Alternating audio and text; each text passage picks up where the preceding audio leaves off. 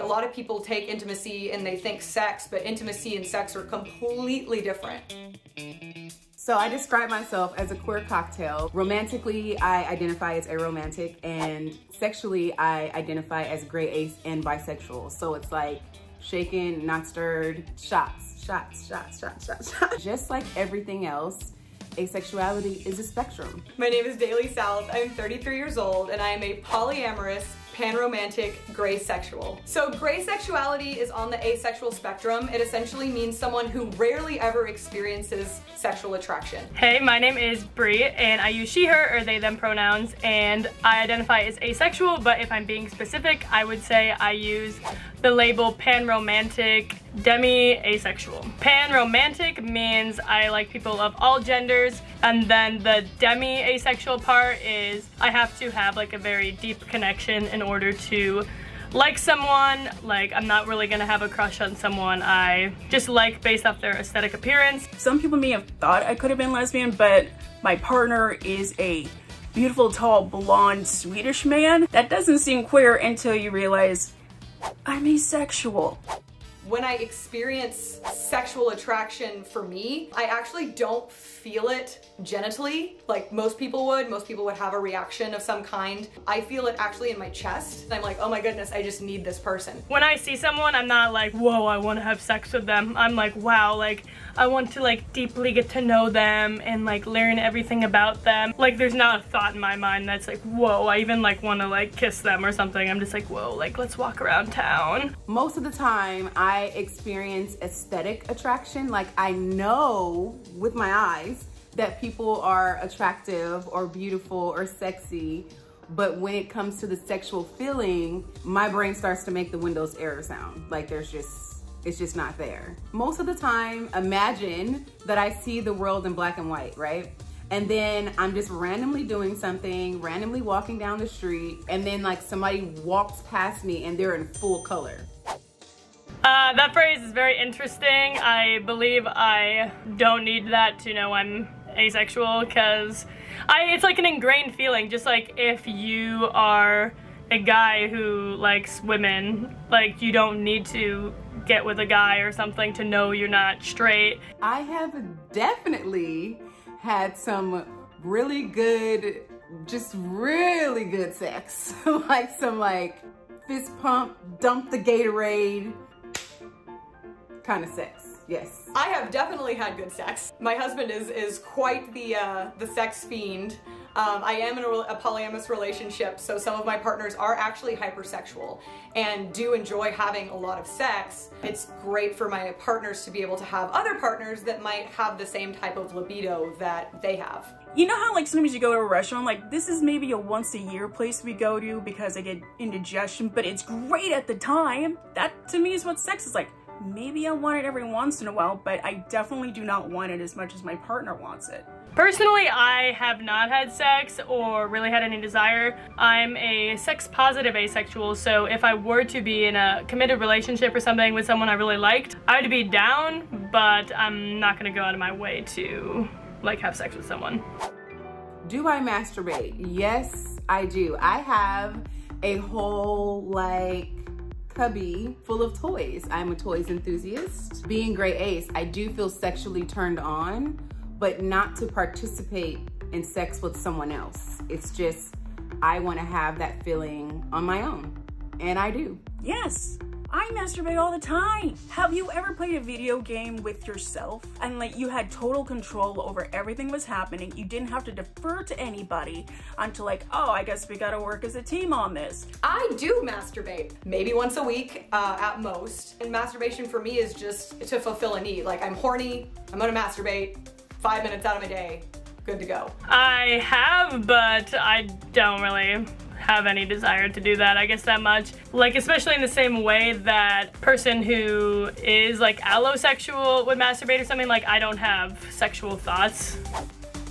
Looking back, there was this moment when everyone's like, oh my god, do you like ever have dreams of kissing boys or something like that? And I was like, Um, like absolutely not. Like no. My telltale signs was like being repulsed, like not understanding why I had such a visceral reaction to like, no, don't touch me, or just going long periods of time without ever even thinking about hooking up with people. And society is mostly heteronormative and rewards people who are into the what I call flamingly heterosexual. It's like, we have sex, we're gonna have children, they're gonna go to prom, it's gonna, we're gonna graduation ceremonies, and we're all gonna ski together. I'm, I'm not part of that, but I tried, and it always felt wrong. So on some level, I kind of always knew.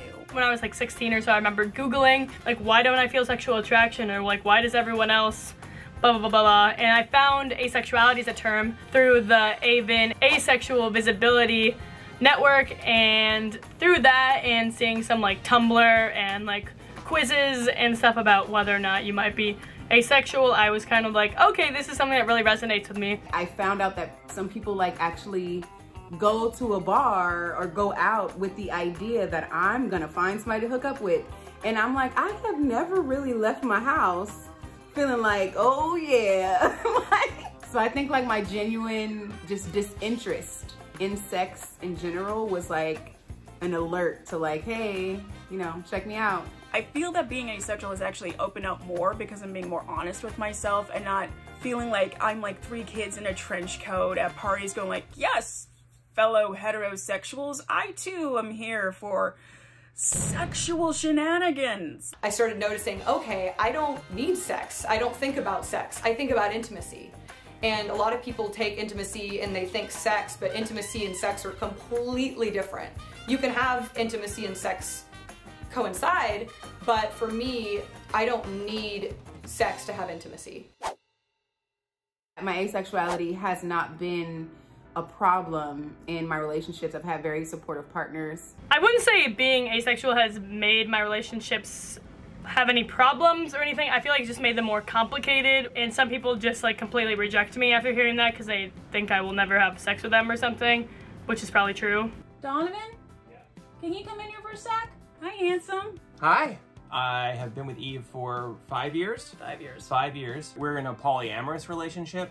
So I have another partner. I kind of had a, a feeling that Eve was asexual or that something was going on. And then when she came out, it was like a relief to me because I kind of realized, oh, this is her. This is her truth. So the more, I feel like the more people can be truthful about who they are and what they want and what they need, the better. And I love Eve, so I want her to like have her needs met the same way she wants me to have my needs met. And then we can all be honest. I've always thought, yeah, you can be loving and give your partner exactly what they want instead of saying this is what you have to settle for because again, heteronormative narrative says that two people together forever because that's what we think is stability. Luckily, we found the perfect person to be in our relationship with. It's hard to find somebody who loves Bob Fosse as much as me. and we found one. Hi. Hi, my name is Jeffrey Lord, and I am a polyamorous, panromantic homosexual. About a year and a half ago, we started like hanging out more, and we started kind of like building a relationship. And he had mm-hmm. come out as gay. It was kind of hard for him at first because he is a gay man, and he's not sexually attracted to women. He's sexually attracted to men. Yep. And so I was like, okay, well, what else is there? Is there something else there? And that's when he came out as panromantic. I'm, I could be in a romantic relationship with pretty much anyone. Yeah. I just I'm only sexually attracted uh, primarily to men. So. Yeah. And I'm not really sexually attracted to anybody, so it works out. It works. We want to inspire people to be themselves and love who they love without fear. Yeah. I guess just an assumption is that asexual people can't have relationships, which is so not true. Intimacy and stuff like that is still present in a lot of asexual relationships. Like asking backhanded questions to discredit my identity as a gray ace person, like, but you have sex though. And it's like, spectrum. What part of the spectrum don't you understand? As someone working in the sex industry, I get a lot of questions, well, how can you be asexual and work in the sex industry? Like, that just sounds like, you know, you're, you're faking it or you're being fake. And I'm like, sex industry is a job. It's a job. If you're watching porn and you think everyone in that porn is like, woohoo, this is the best day of my life, the best sex ever, then you're you're you're gonna be sorely mistaken. Just because I'm asexual to me, I don't I don't have like sexuality. I feel like people have a stereotype of what they think an asexual person should look like or behave like. So me being the thirst trap that I am, when I'm like, oh yeah, I'm gray ace, they're like, liar. we get a lot of Uh, comments like, there's no way you're a virgin. Oh my God, so you're a virgin? Whoa, so you've never had sex? A lot of like virgin fetishization, I'd say. And like just hearing like virgin, even though I'm saying like asexual, I feel like people think of those as synonymous, but it's definitely not always the case. I wish people would have told me that just because society doesn't think you have power, you have power. I wish that I knew that asexuality was a thing. I can remember like middle school, high school, my friends were all like hooking up and stuff and I was like buying action figures and dolls and stuff still because I was just like not interested in entering that part of my life. I feel like I wish I just knew that asexuality was a thing at all. Just making asexuality more of an open conversation would be great and just so people are aware of it. It's normal and it's okay and it doesn't make you a bad spouse, it doesn't make you a bad partner, it doesn't make you a bad person, it just makes you you. I dealt with a lot of feelings of brokenness as if the way I was existing or experiencing connection was wrong. Once I realized that there were like so many people who were just like me having the same or similar experiences, it kind of really helped me unpack all of those things that I internalized about myself. Community, is everything. You're not broken, nothing is wrong with you, and you're perfect just the way you are. If you think you're on the spectrum, explore it. See what saying no feels like. People feel like we owe it to other people because that's just, again, it's the heteronormative narrative in our society. See what it's like to reject that. And if it feels comfortable, maybe you're just queer in some way. This world is is not black and white and it's it's okay to be something different than the norm.